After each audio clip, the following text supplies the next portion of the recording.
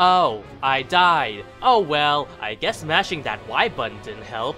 You know, maybe Hyrule Warriors is just too hard for me. Let's try another Dynasty Warriors game.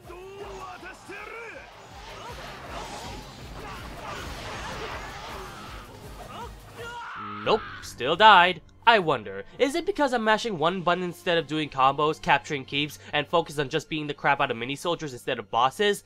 Nah, that can't be it.